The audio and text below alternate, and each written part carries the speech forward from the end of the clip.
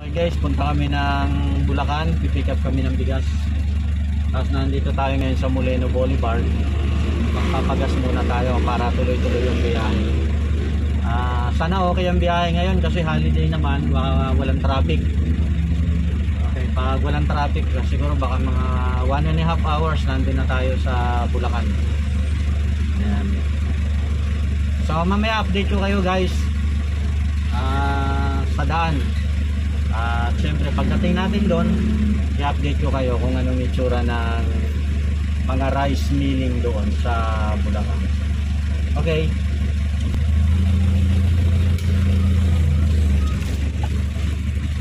Five hundred dos diesel. Diesel po.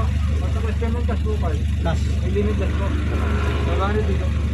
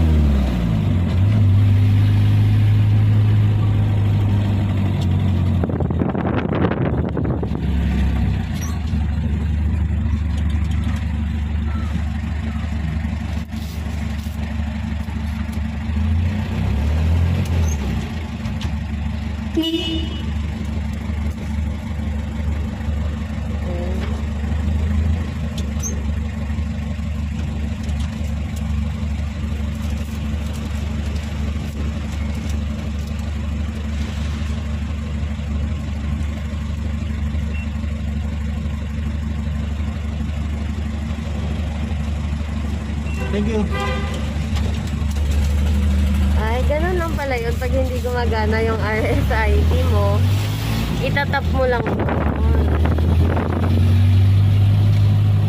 So, nakalibre tayo doon kanina. Walang bawas, di ba? Opo.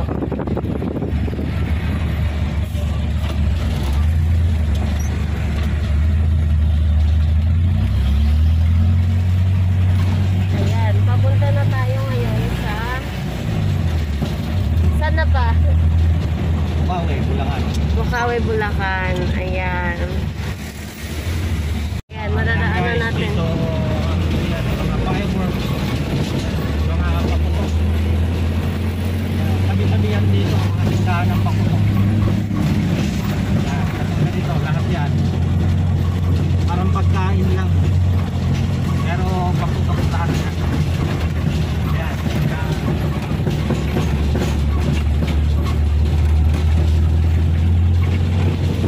Buti nagtitinda pa rin sila, di ba bawal na? Ito guys yung nasunog na ako. Paputokan, ayan.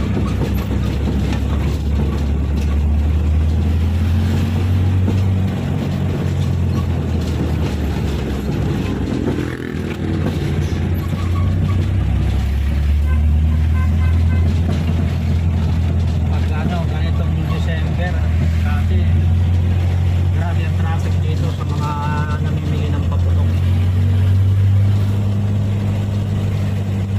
Pero ngayon mahina.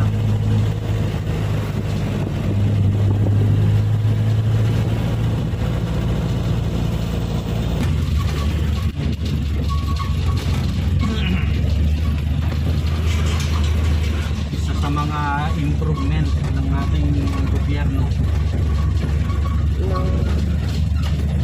Build, build, build. na inadapt ng build, build, build.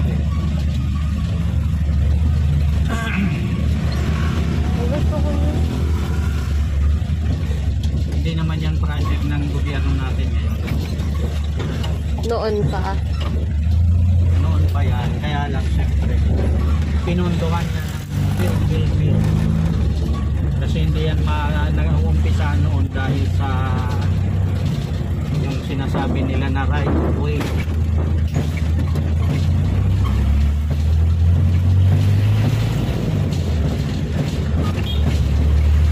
Ngayon, tinapos ang right of way, kaya natuloy yung proyekto.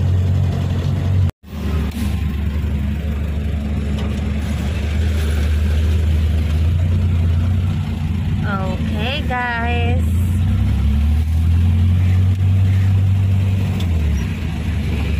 Tayong Intercity.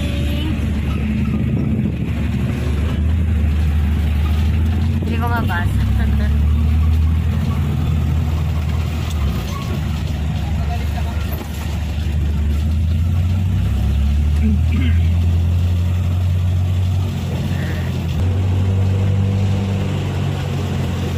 Dito ko binili yung ano, yung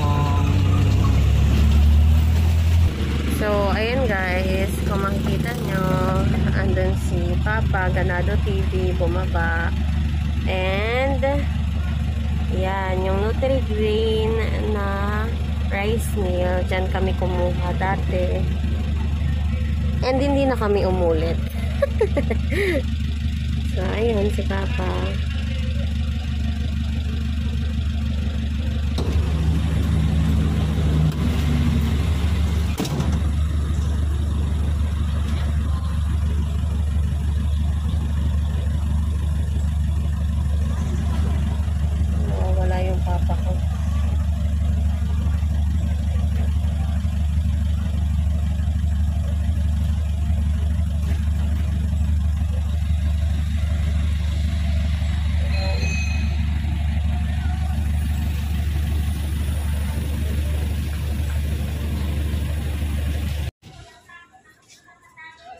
Gracias.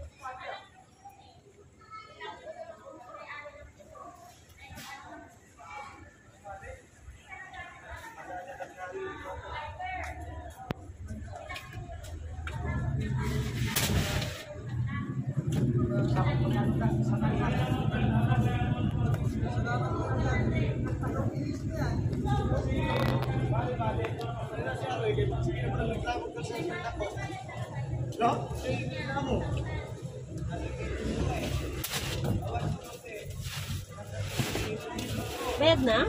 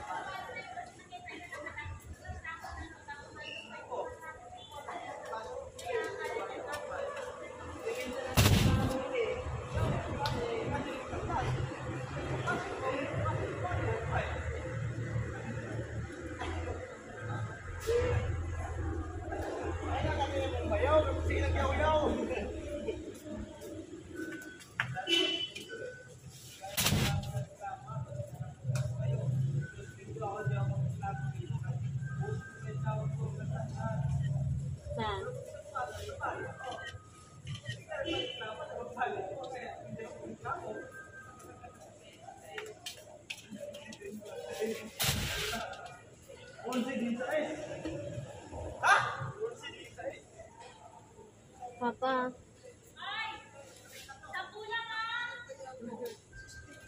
Sana.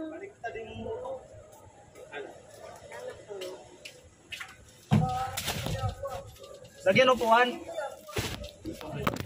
Ay, wag lang. Papa, lalagyan yung upuan.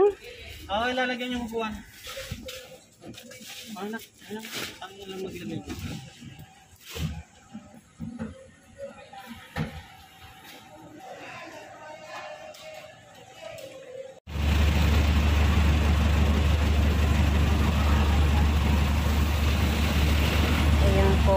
Ganado TV. Kikipag-negotiate sa bigas.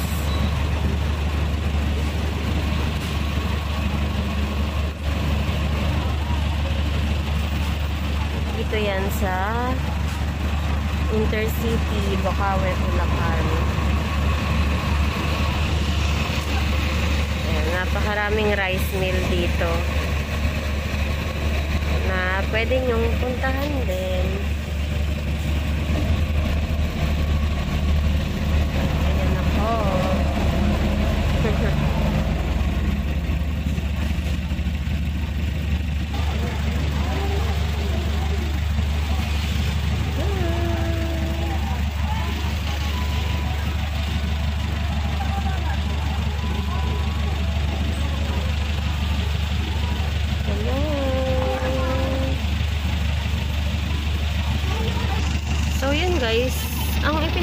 Ko lang bakit ang daming sales representative.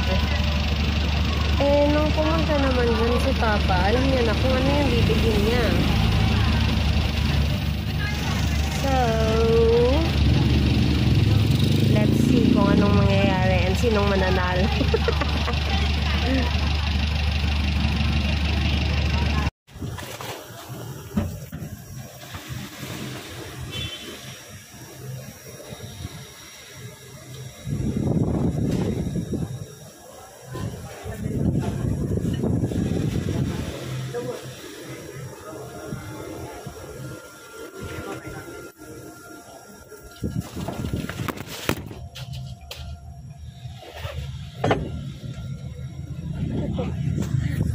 Tumambling na naman yung cellphone.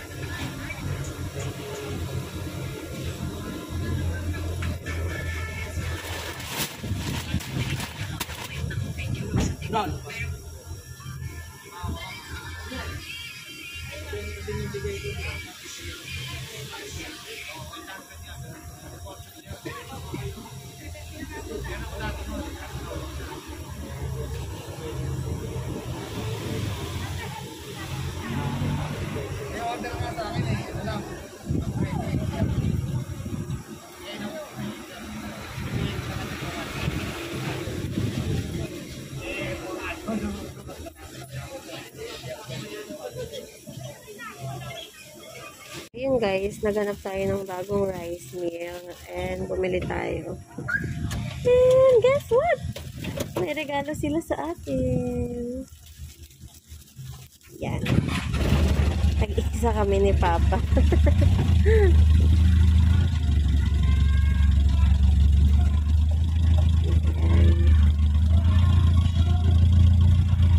Hala, excited na ako. Alam mo ba ang tagal kong hindi nakaka-receive ng regalo? Kung makareceive man ako ng regalo, paano ba sasabihin? Kung makareceive man ako ng regalo, rito kanina. hindi po, hindi binubuksan. I mean, hindi nakabalot. Hindi nakabalot. Thank you. Kung anong pangalan ng rice mill? Ayaw. Nakaka-excite. Nasa ibang rice mill na tayo ngayon. Ayan, magtatanong ulit tayo. Actually, maraming pagpipilian dito. Kasi sa'yo na lang din talaga ako magtitiwala ka sa kanila. Kasi syempre, hindi lahat maganda yung ibibigay sa'yo. Pero ikaw, maniniwala ka. Ayun. Yan, kanya-kanyang offer na yan agad sila pagdating na pagdating mo pa lang. Yan. Diba? So, balitaan kita mamaya.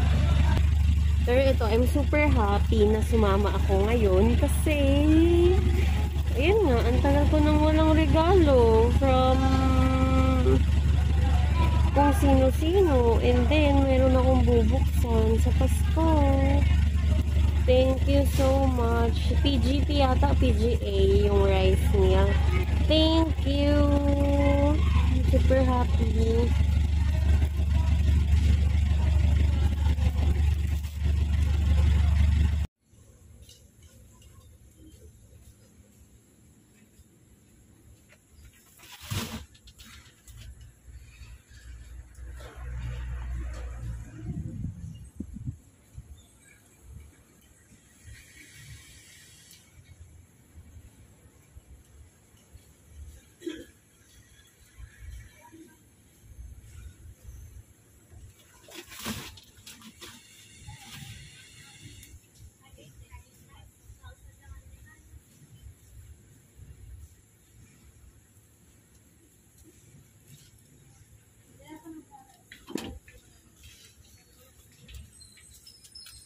Mo nilalagay yung mga resibo?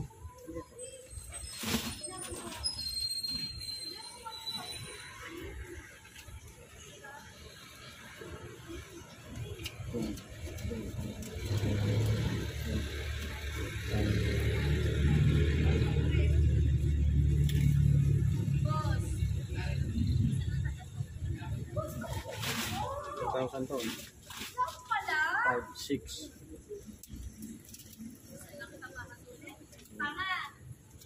Usapan mo talaga natin bibigyan niyo ng hati sa akin dahil sa malupok, di ba? May pagkakatawa ka.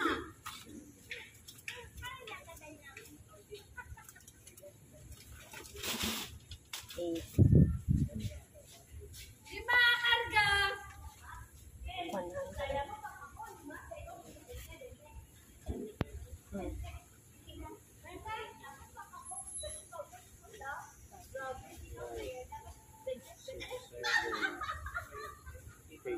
Kasi si May, pag nag-may, may impression ko sa kanila.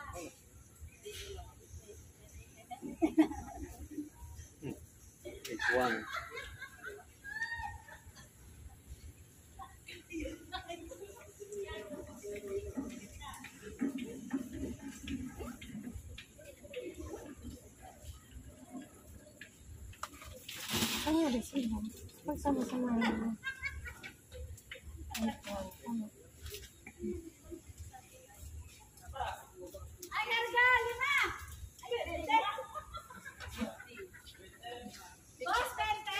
Ito, wala. Ayun, ah, isa lang pa. Ano ba? 50 times 2.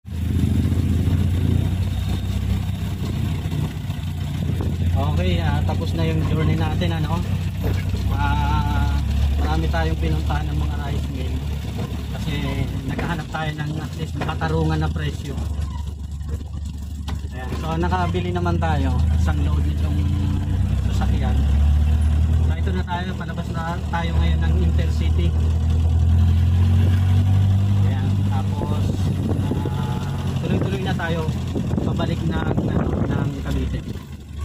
yun lang, update namin kayo mamaya.